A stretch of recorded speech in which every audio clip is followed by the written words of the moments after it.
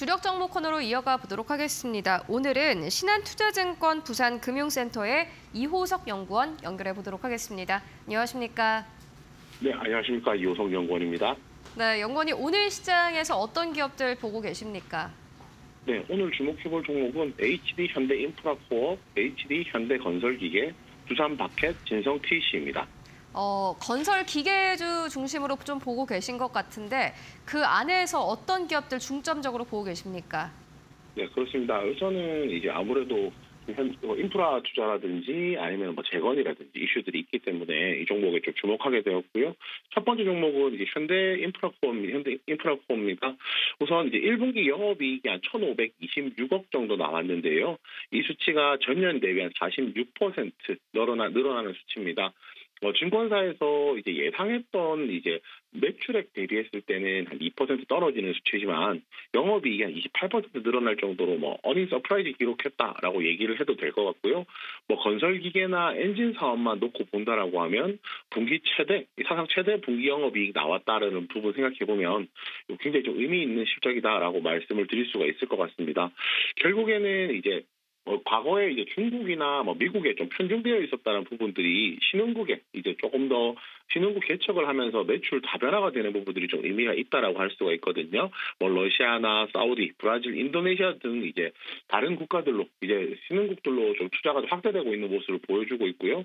어, 각국의 상황은 다르겠지만은 뭐 자원 부국이라는 공통점이 있다는 점을 생각해 보면 좀 의미가 있다라고 할 수 있습니다. 뭐 아시다시피 러시아나 우크라이나의 전쟁 기점으로 해서 자원 중요도가 올라가면서 자원 부국에 대한 투자가 늘어났다는 것도 좀 의미가 있을 거라고 좀 생각을 하고요.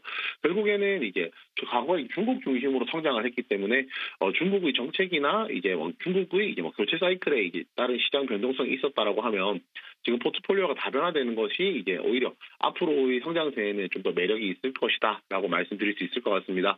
또 2분기부터는 이제 해운 선적 차질도 좀 해소가 될 것으로 보이거든요. 이 부분이 이제 해소가 된다라고 하면 오히려 양호한 매출을 보일 수 있어서 기대감도 좀 큰 상황이고요. 거기에 다음 종목은 이제 HD 건, 건설기계, 현대건설기계입니다. 1분기 영업이익이 이제 800억으로 전년 대비 71% 늘어나는 수치를 보여줬습니다. 결국에는 이제 1분기에도 1분기 이제 영업이익이 서프라이즈가 나왔다라는 거고요. 북미 매출 자체가 한 84% 정도 늘었습니다. 과거에 이제 또 이 마찬가지지만 건설기계 종목들이 이제 중국 편중되어 있었던 생각해 보면 북미로 이제 성장을 함으로써 의미가 있다라고 할 수 있고요. 어 거기에다가 이제 전체 매출에서 차지하는 북미 매출 비중이 한 25%까지 늘어났습니다. 포트폴리오 다변화가 적절하게 잘 이루어지고 있다라고 조금 생각을 해볼 수 있을 것 같습니다. 여기에 추가적으로 저희가 좀 생각해 볼 것은요. 지금 북미 매출이 늘어났다는 것은 것은 결국에는 미국에 대한 인프라 투자가 이제 굉장히 좀 큰 의미가 있다라고 할 수가 있거든요. 미국 미국은 이제 자동차 산업이 성장이 끝물이었던 1980년대 이후로는 인프라 투자가 제대로 이루어진 적이 없었거든요. 결국에는 인프라 투자만 놓고 본다면은 50년 만에 찾아온 호황이다라고 말씀을 드릴 수도 있을 것 같은데요.